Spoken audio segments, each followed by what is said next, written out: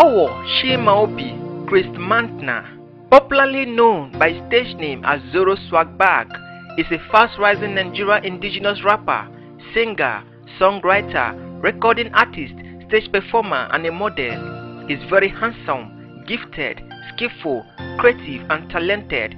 He's popularly known for his ability to rap in the Igbo language.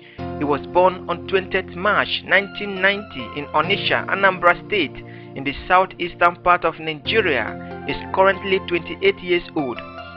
Zoro Swagbag is originally from Ogo in Enugu State in the southeastern part of Nigeria, but was born and bred in Onitsha, Anambra State in the southeastern part of Nigeria, where he completed both his primary and secondary school education and obtained both his first school leaving certificate and West African Senior School certificate. Zoro Swagbag rose to fame after the release of his hit single 042, 02, Ogene and Ashikolo which featured Nigerian music legend Phyno and Flavour. His three hit singles received massive acceptance globally and was a commercial success. The hit singles earned him a nomination for Best New Art Wash and Best Indigenous Rapper at the Nigerian Entertainment Awards, MTV African Music Video Awards and City People Entertainment Awards. Zoro Swagbag has collaborated with Nigerian top celebrities like Flavour, Phyno, Nigaro, Runtown, Selebobo, B-Square, Tekno, and other top celebrities in Nigeria.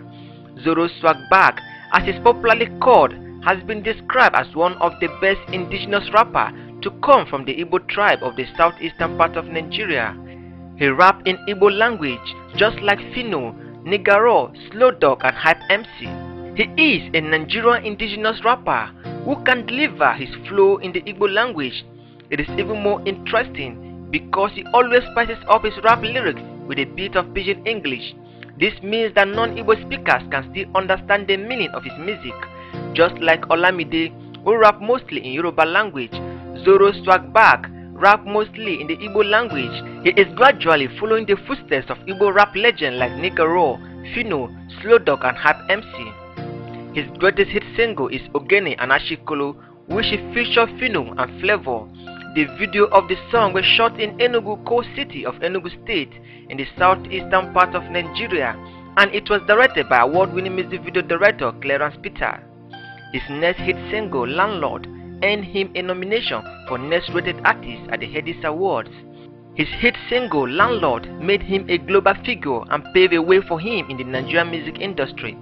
He also has another hit single, By the Bar, which featured Nigerian rapper Fast, the Bad Guy. Zoro Swagbag has worked with a lot of upcoming artists and big names in the Nigerian music industry.